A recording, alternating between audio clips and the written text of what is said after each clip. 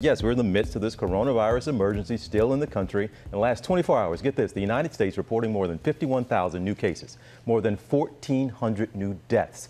The daily death toll increasing in at least 32 states, and that includes Texas. That's right. The situation is dire in Texas right now. That state is fast approaching half a million cases, and in many hospitals in communities near the border, they are stretched to the limit. Marcus Moore is live at a convention center in McAllen that's now being transformed into a field hospital. Good morning, Marcus.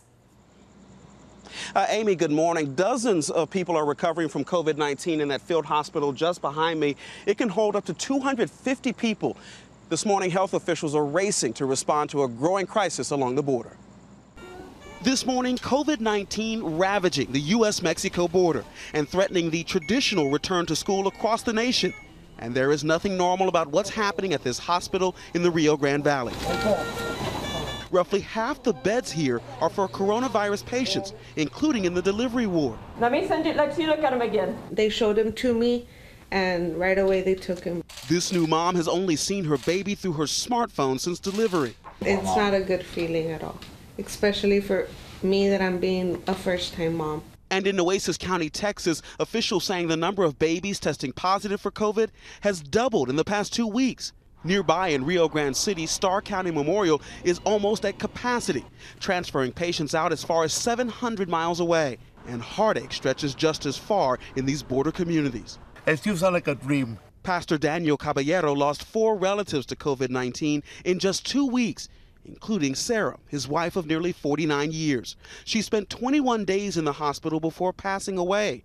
Her family not allowed to be by her side in those final moments. I could give a hundred times my life for her. Easy, with no doubt. It's how much I love my wife. Tell him. It's very It's real. very real. Yeah, I And got the feeling right there is real. You got to take your precautions. The situation is so dire in the region, a field hospital has finally been set up at the convention center in McAllen, visiting doctors, also answering an urgent plea for help. But doctors across the country also having to deal with an anti science sentiment among so many Americans. Dr. Anthony Fauci discussing death threats against his family in this Harvard Medical School live stream. I wouldn't have imagined in my wildest dreams that people who object to things that are pure public health principles are so set against it and don't like what you and I say, namely in the word of science, that they actually threaten you. In California, the mayor of Los Angeles threatening to cut water and power to any homes or businesses hosting large gatherings in violation of health orders. But just hours after that stern warning, this crowded wedding party kicked off in one of the city's wealthiest neighborhoods.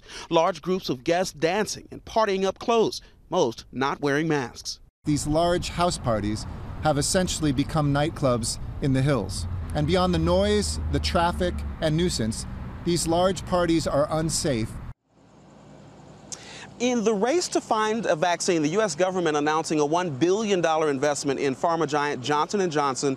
That's for 100 million doses of a vaccine for clinical trials. And TJ, that is hope that can't come soon enough. All right, Marcus, hope, the good word right now. Thank you so much.